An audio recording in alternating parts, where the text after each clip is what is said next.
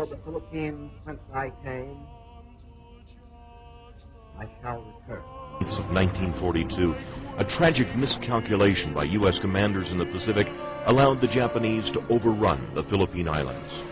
During the evacuation, thousands of American and Filipino soldiers were left behind. No supplies, little food.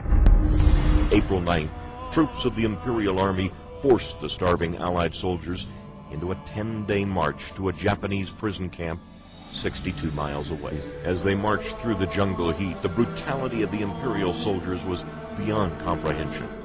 Stragglers were intentionally run over by tanks and trucks.